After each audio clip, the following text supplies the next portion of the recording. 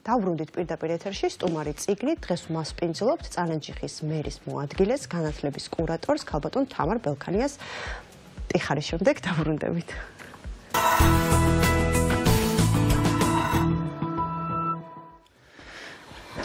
მოგესალმებით. ძალიან გვიხარია რომ ჩვენთან ხართ იმიტომ რომ ფიქრობთ საინტერესო ციგნით და საინტერესო თემით. თემით და რა ციგნია ძალიან მნიშვნელოვანი. რა არის გითხარი აი ხა 15 წუთის განმავლობაში გისმენდით და ძალიან საინტერესო საუბარი ქონდა და მინდა გითხრათ რომ აი ამ ყველაფრის შემაჯამებელი არის სწორედ აი ეს ციგნი რომელიც მინდა წარმოგიდგინოთ. ტერენტი გრანელი ნახატები. უცნობი ნახატები. ოღონდ ეს არის არაჩვეულებრივი გამოცემა მთელი თავისი ისტორიებით რომელსაც მომეცემა შესაძლებელია რომ მოგიყვებით. ნუ დავიწყებ იმით რომ ნუ ძალიან კარგი გამოცემაა. მაღალი ხარისხის პოლიგრაფიული გამოცემა, ამას აქვს 21 საუკუნეში მნიშვნელობა და ყველაზე მთავარი ის არის, რომ პირველად საქართველოს ლიტერატურის, ასე ვთქვათ, ისტორიაში გამოიცა კრებული თავისი ორენოვანი ანოტაციით ქართული და ინგლისურ ენაზე, იმისთვის რომ ევროპელებმაც იცოდნენ რა იყო ჩვენი ისტორია, როგორ დამკვიდრდა ბოლშევიზმი, როგორ მოხდა ადამიანების დისკრედიტაციის სხვადასხვა მეთოდები და მე გაჩნდება ალბათ კითხვა სად ვართ ახლა. ევროპელებამდე ალბათ ჩვენ უნდა ვიცოდეთ. როდის თავდება ბოლშევიზმი და არ დაგეთახმებით ამიტომ ითუფლება, რომ ეს უკრაინასთან ომის შემდეგ არა. ის დამთავრდება, როდესაც ლუსტრაციის კანონს მიიღებენ ქვეყნები, თავის ისტორია შეაფასებენ, დადებენ როგორც მონაპოვარს და აი ამის შემდეგ დაალაგდება ჩვენი ევროპული ღირებულებები, ჩვენი სახელმწიფოებრივი ცნობიერება, ჩვენი ქართული სახელმწიფო, რომელიც თავში გვაქვს. უნდა გქონდეს და არა გულში. ეს არის ციგნი, რომელიც 214 გვერდისგან შედგება. გითხარით, რომ ორენოვანია, გაგიკვირდებათ ალბათ, მაგრამ ინიციატორი გახლავთ წალენჯიხის მუნიციპალიტეტის მერი, იმიტომ გაგიკვირდებათ, რომ მუნიციპალიტეტების საგამომცემლო საქმიანობით როგორ წესი არ არიან დაკავებული და ბარემ აქვე გეტყვით, რომ პოლიტიკური ნებაა საჭირო, რომ ასეთი ციგნები გამოიცეს. რა რა აზრი აქვს ამ ციგს? ამ ციგნის ერთადერთი აზრია, რომ ჩვენმა თაობამ იცოდეს, ვინ იყო ტერენტი მარტი გრანელი. არა ის ლეგენდა, რომ რაღაც ზღაპრები, არა სიკვდილი, არამედ სიცოცხლე. ესე იგი საბჭოთა ისტორიოგრაფიამ ამ კაცისგან ჩამოაყალიბა стереოტიპი, რომ ეს იყო გიჟი. გიჟი, რომელსაც არ უყვარდა არავინ.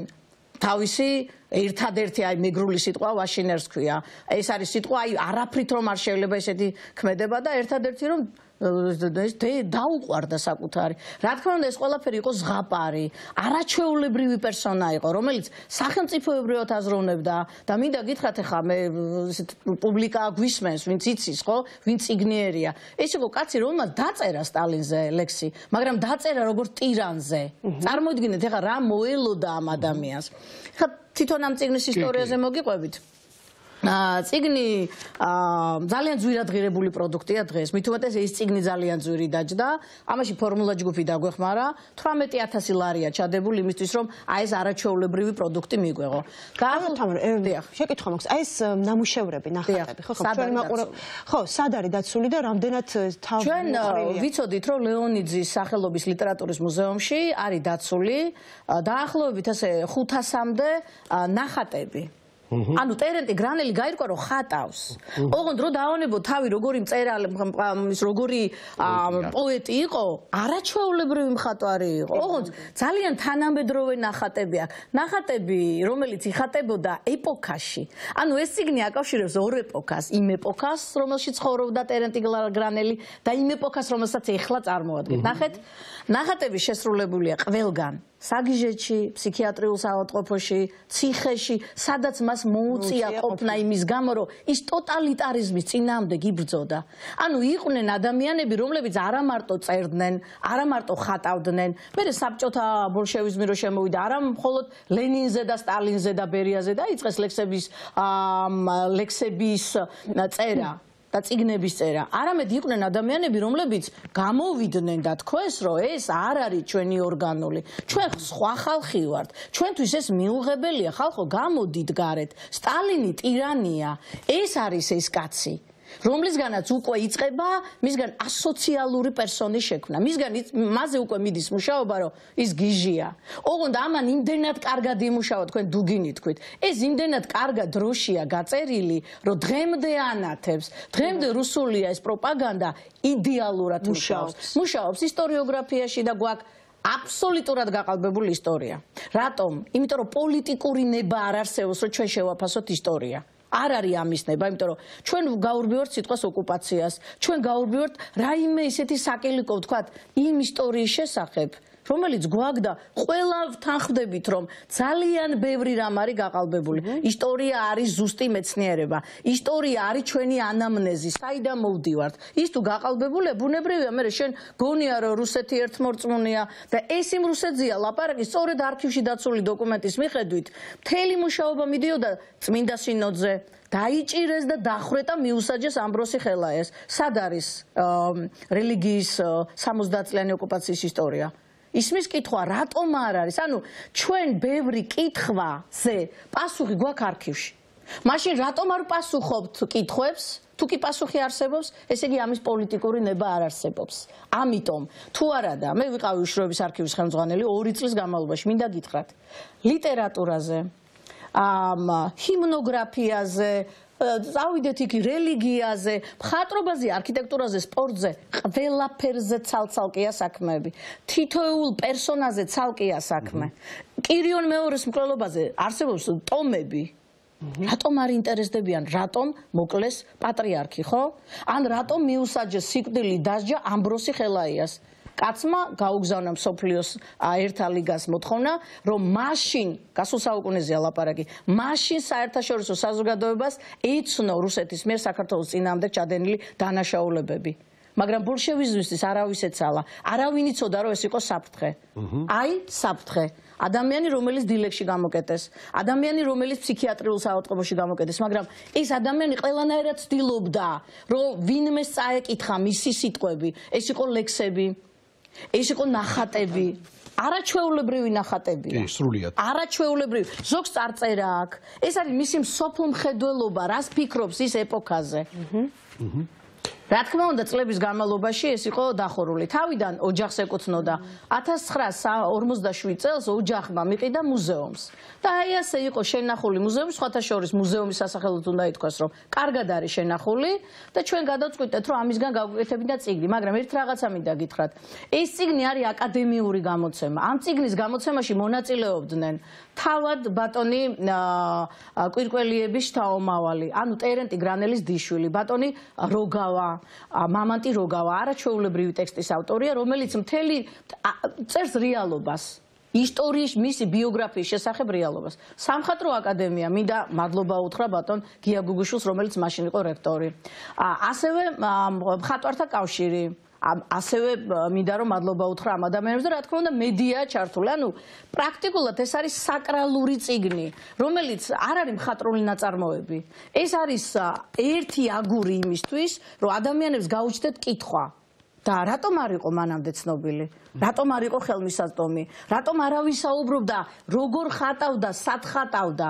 აი სად ხატავდა იყო პრობლემა. საბჭოთა ისტორიოგრაფია ვერ დაუშვებდა იქ ერთ-ერთი რაზეც არის ნახატი, ეს არის ფსიქიატრიული ესე ვთქვათ რაღაც ანოტაცია, რომელსაც აწერია რომ ფსიქიატრიულის ქაღალდია. იქ არის მიხატული. მაშინ ადამიანი იკითხებდა რა უნდოდა ამ ადამიანს იქ. ანუ რეალურად იმდენად თვალხილულია, იმდენად ხელშესახებია ჩვენი ისტორია, რომელიც არქივებშია დაცული, რომ მე ვფიქრობ, რომ ჩვენი მოვალეობაც კი არის, რომ ეს სამეცნიერო მიმოქცევაში აღმოჩნდეს და მე უცხოელებს აღარ გაუკვირდება ჩვენ ინგლისურ ენაზე. აფხაზეთის ისტორია არ გვაქვს. აი არის არაჩვეულებრივი აფხაზოლოგი, რომელიც კალგარის უნივერსიტეტის კვლევით ცენტრის ხელმძღვანელია, ენდრიუ ანდერსენი და მან თქვა: "მომაწოდეთ თქვენი აფხაზეთის ისტორია". ანუ ინგლისურ ენაზე აკადემიური გამოცემა ჩვენი ისტორიის შესახებ არ არსებობს. რატომ? ჩვენ ვერ თანხმდებით ჩვენს ისტორიაზე. ჩვენ არ გვაქვს ისტორია. შესაბამისად, ჩვენ ვართ აი გარუკვირველობაში ვართ. თაობათა დავა, თაობათა დავა შეწყდება მას მერე, რაც იქნება მიღებული პოლიტიკური ნება, რომ საქართველოს კონდეს ოკუპაციის 60 წლიანი ისტორია. აი ამის შემდეგ უკვე ეს ციგნი ფრაგმენტია. ეს არაფერს არ მოიტანს მერწმუნეთ. აი დუგინის ქმედებას რატომ მოაქვს შედეგი? იმიტომ რომ ეს არის დროში გაწერილი. და ეს არის ერთი პოლიტიკური ნება საიდან? იქ სადაც ოპოზიციურმა კოალიციურმა ხელისუფლებამ გამოიმარჯვა. ესეც უცნაურია, ხო? ანუ ხელისუფალი მას აქ ნება, მას სურს, მას უნდა თავი დაიცვას. გარშემო თავდასხმებისგან. თავს გვესხმის მედია, თავს გვესხმის პოლიტიკური ისტაბლიშმენტი, ყველა გვესხმის თავს, იმიტომ რომ ტოტალიტარიზმი ერთ ადგილას განიცადა ბზარი მთელი მისი ისტორიის განმავლობაში. ეს არის წალენჯიხა და წალენჯიხიდან არის ეს ციგნი, სადაც ადამიანი წერს რა არის თავისუფლება. სხვადასხვა იდეალური განმარტება აქვს. ხო გონია რომ ლექსებია ისეთი კაცი რო ვერ გაიგებს, ხო? არა, ძალიან ჩამოყალიბებული, ძალიან სტრუქტურიზებულია მისი როგორც ნახატები, უბრალოდ კითხვა უნდა იცოდე. როგორც ნახატები, ისევე ლექსები. ამიტომ ამ არაჩვეულებრივ წიგს კიდევ ერთი უცნაური ისტორია უკავშირდება თქვენ წერან თქვი ტერენტის რაბედი ქონიაო. ეს წიგნი როდესაც დაიბეჭდა, აა ინახება, ну, მანქანით უნდა ჩამოგვეტანა და წარონჯიხის მუნიციპალიტეტის მერს უნდა ჩამოიტანა ეს მანქანა, რადგან მისი მანქანა უფრო ტევადი იყო მაშინ და სახლის წინ ტერაქტი მოუწყვეს. ანუ მანქანა მთლიანად დაწვეს და რაღაცა ნაწილი აი ამ მე მე მგონი თქვენ ახლა კადრში დაინახავთ რა ბედი ეწია თვითონ აი ამ ციგნის დიდ ნაწილს.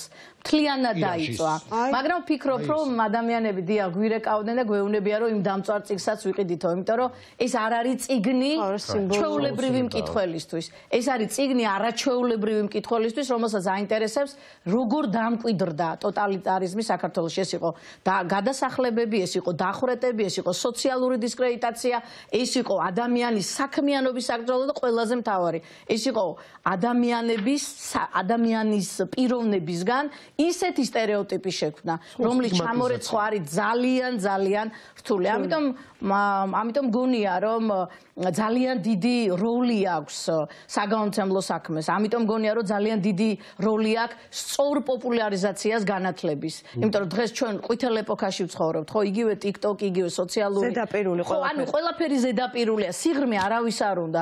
Facebook-ზეც რაც ნახულობთ, მოკლე ტექსტი, სულ რაღაც ერთი headline და ფოტო, ხო? და ეს არ არის ესე მარტივი. ამიტომ თუნდაც ის მცირე აუდიტორია, რომელიც ახლა ჩვენ გვისმენს, მე მათ მინდა ვუთხრა, მეგობრებო, რომ ჩვენი მთავარი პრობლემა მდგომარეობს სწორედ იმასი, რომ ჩვენ არ გვაქვს პოლიტიკური ნება.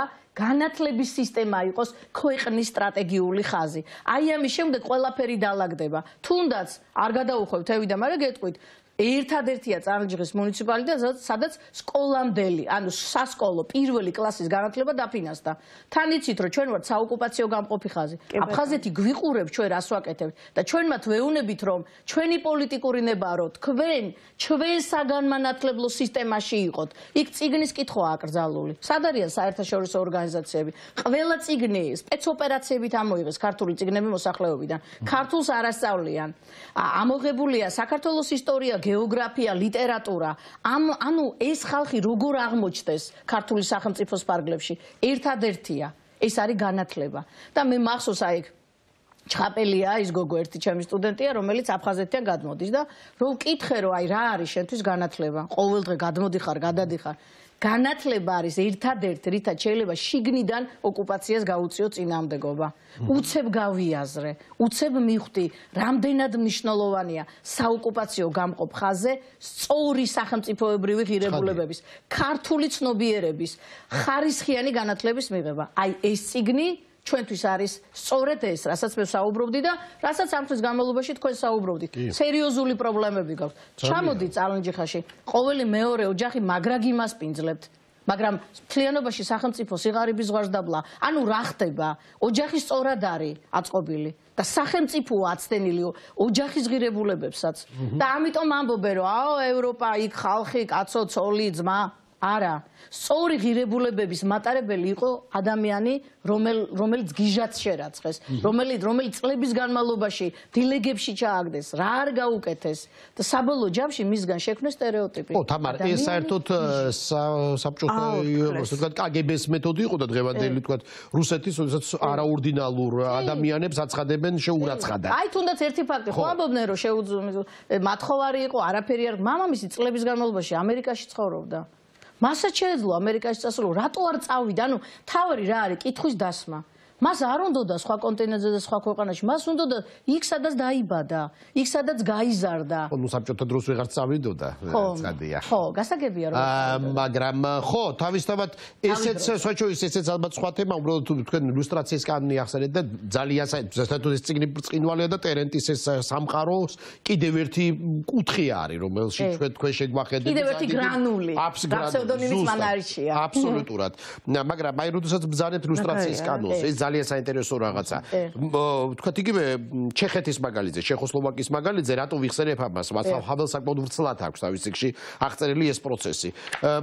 როდესაც ვსაუბრობ ილუსტრაციის კანონზე, ჰაველის მაგალითზე იყო ის, რომ თქვა კომუნისტი მართველები დამოუკიდებელ ჩეხეთში ვერცერთ თანამდებობაზე ვეღარ იქნებოდნენ. ჩვენ შემთხვევაში დღევანდელ რეალობაში რამე აქტუალურია ილუსტრაციის კანონი ყოფილი ანუ კომუნისტური ხელისუფლების წარმომადგენლები დღეს ხომ აღარ არიან აქტუალური და ეხა მოქმედ FSB-ს ან KGB-ს აგენტს არავინ არ გაგვიმხელს.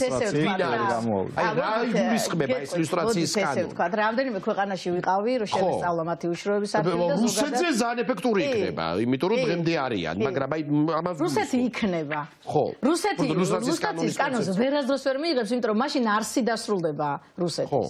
და აი გაქრება.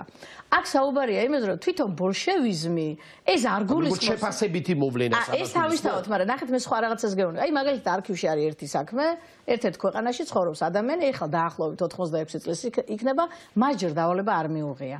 ანუ აი ეს მოქმედი აგენტურის ქსელი კიდევ სხვანაირად მუშაობს, ვიდრე აი ჩვეულებრივ ადამიანებს აქვს წარმოდგენა მათი საქმიანობის მაგრამ რაიმე კანონით შეიძლება გამოაშკარავება აგენტის? რა თქმა უნდა, კი, რა თქმა უნდა. მოქმედი აგენტი. არა, მან არის საუბარი იმაზე, რომ დაკავშირება დიდი დიქტატური შეკითხებია არა არა მოქმედ აგენტს მოქმედ აგენტს არა ნახეთ მოდით შევთანხმდით ლუსტრაციის კანონს ლაშა მოდით რა არის ლუსტრაციის კანონი? ლუსტრაციის კანონი არის როდესაც საბჭოთა პერიოდში უშიშროებასთან მაღალ პოზიციებზე მომუშავე ადამიანების სია დგება რომელიც ესე ქუჩა-ქუჩა კი არ გამოიფინება.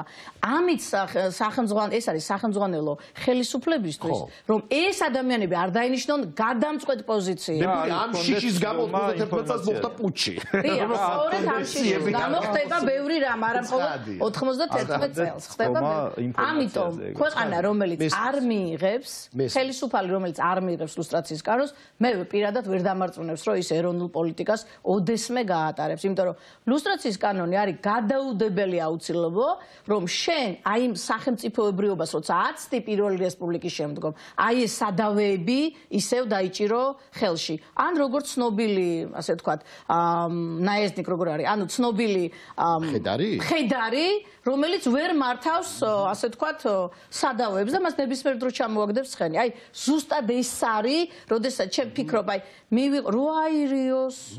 რა მეტი რა უნდა აირიოს? მეტი რაღირებულებები უნდა იყოს, ყველაფერი არეული და ერთმანეთში აღრეულია. გადახედეთ სამეცნიერო ლიტერატურას, გადახედეთ მხატვრულ ლიტერატურას, ბევრ რაღაცას გადახედეთ, როგორ არის არეული ერთმანეთში ეს ყველაფერი. ამიტომ მე მგონია, რომ დაალაგდება თუ აი ეს ციგნი იქნება ბიძგის მიმცემი, რომ შემდგომ იგივე კირიონ მეორის მკვლელობა, იგივე ილია ჭავჭავაძის მკვლელობა, იგივე იმ პერსონების მკვლელობა, ტიციანზე მთელი ამბები, ტიცე მთელი საქმე დგეს არქივებში. აჰა. მივიდნენ იმუშაონ რომ გამოიწეს მეც მომხრება რომ ჩვენც ყოფილ ვარ და რაღაც გარკვეული ვიმუშავია კიდეც უამრავი მართლა წარმოუდგენლად დიდი მასალაა მაგრამ ზუსტ ამით დავიწყეთ. ჩვენი დღევანდელი გადაცემა ჩვენ ხედავთ დღევანდელი კულტურის სამინისტრო მაგალითად როგორც დილობს სწორედ ეს რეპრესიული ფორმებია. იგივე თქვა ელენე დარიანის თქვა აი ამ კონცეფციის წინააღმდეგ ბრძოლას. ანუ თავიდან ანუ პრინციპში ხო ისტორიულ სინამდვილესთან ბრძოლა რეჟიმების დამახასიათებელი პრობლემა. და აქ ყველაზე კარგი მათი მოკავშირე ის არის რომ ჩვენ არ გვაქვს ისტორია. ანუ ვერაფერს ვერ ვეყრდნობთ. ძალიან მიხსიერება არის. სიამოვნებაში მიხსიერებას გაფრთხილება ჭირდება. ნუ მოდი დავიწყოთ იქიდან რომ ძალიან მნიშვნელოვანი არის ზოგადად განათლება. ანუ განათლებაში განათლების სისტემა თუ არ დაალაგდა, ვერ გაზდი შენ სწორი ისტორიკოს, რომელიც მე უნდა შევიდეს იმ არქივში და იკლიოს. ანუ ვიღაცა გჭირდება, ვინც შევა და გამოიკლებს, ხო? და რა თქმა უნდა არსებობს და რა თქმა უნდა არსებობს ინტერესი, ცნობის მოყარება. ინტერესი. ხო, რა თქმა უნდა, ინტერესს აჩენს განათლება. ოღონდ როცა ამ განათლებაში სისტემურად მიზ მიზანი სწორად გაქვს ჩამოყალიბებული. ჩვენი განათლების სისტემაში მიზანი ინტერესი არ არის. ჩვენი განათლების სისტემაში მიზანი არის დასაქმება, წარმატება და ასე შემდეგ. განათლების მთავარი არსი არის ინტერესი. ეს გამოყენებას აარჩევნოთ. სწავლობ იმიტომ რომ მაინტერესებს და არა სწავლობ იმიტომ რომ წარმატებული ვიყო. ორი სხვა სხვა რამეა რა. და როცა მთელი განათლების სისტემის ლოგიკა გაქვს ქვეყანაში სკოლიდან დაწყებული უნივერსიტეტის ჩათვლით, აი ესე აზელილი და არეული. მე იქ ზოგადად აღარ ჩნდება ადამიანი, რომელსაც საერთოდ რამე აინტერესებს რაღაცის გარდა. მოკლედ სამწუხაროდ ეს მადლობა, ხალბატონო თამა. ჩემი ყველაზე საყვარელი ლექსია ალბათ რომ გაზაფხულის აღამოამ 7 ხეზე გადაფრინდაჩიდი. მე ვფიქრობ ერთ-ერთი ყველაზე მნიშვნელოვანი გამოცემა, რაც ჩვენი გადაცემების განმავლობაში წარგვიდგენია დიდი მადლობა. ძალიან დიდი მადლობა. შეყებული და ამაყივად. მადლობა. წარმატებები წარიჯიხას. სანამ დავიმშვიდობებით მაყურებელს, მე კიდევ ერთხელ შეგახსენებთ, რომ გადაცემა ლიტერატურულ სამკუთხედს წარმოგიდგენთ სულაკაურის გამომცემლობა. მომავალს ალბათ შევხვდებით ასევე საინტერესო თემებით, თემებითა და სტუმრებით. მადლობა.